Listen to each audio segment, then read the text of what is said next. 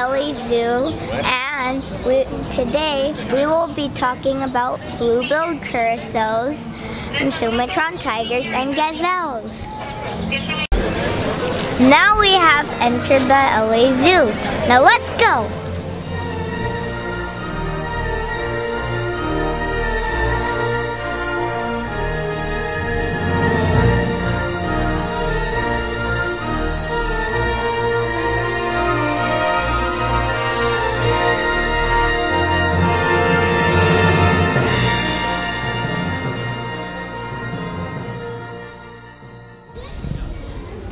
We had just met our first animal. They are gaze- gazelles. Gazelles are known for swift animals. Some are able to run at bursts as high as 60 miles per hour or run at a sustained speed of 30 miles per hour. They tend to live in herds that and they are herb- herbivores. Gazelles are very small antelopes and are generally fawn covered.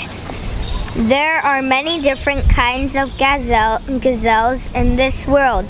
Their predators are cheetahs, lions, African wild dogs, crocodiles, hyenas, and leopards. They are in the deer family, which means that they are in the same family as goats, cattle, and sheep. They have tall horns, tan or reddish brown coats, and white rumps. Most gazelles live in the hot, dry savannas and deserts of Africa and Asia.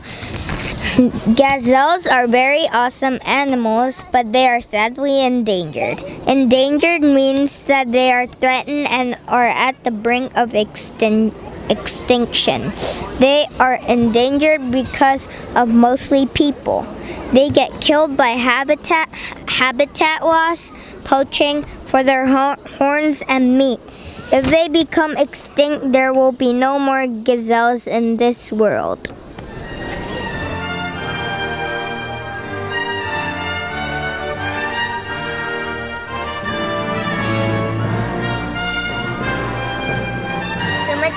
Tigers are the smallest subspecies of tigers in the world. Since this animal is so small, it can go easier into the into the dense forests unlike its bigger cousins. The stripes of the Sumatran tiger are narrower uh, than those of other tigers, uh, uh, other tiger species, and have larger manes. Sumatran tigers have slightly webbed paws, which allows them to efficiently swim after their prey. Sumatran tigers eat mammals such as deer, wild boar, uh, cattle, and goats. When the tigers are born, they are blind and helpless.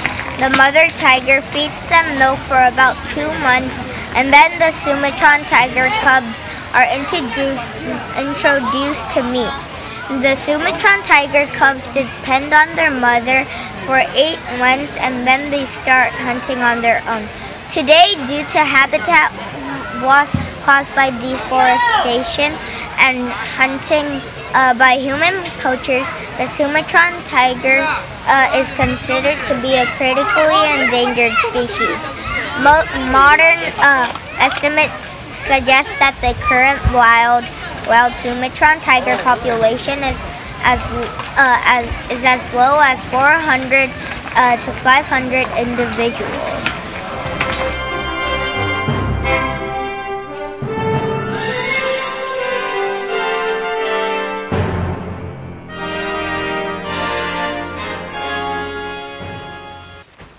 Now we have met our last and final animal, the blue-billed curassow.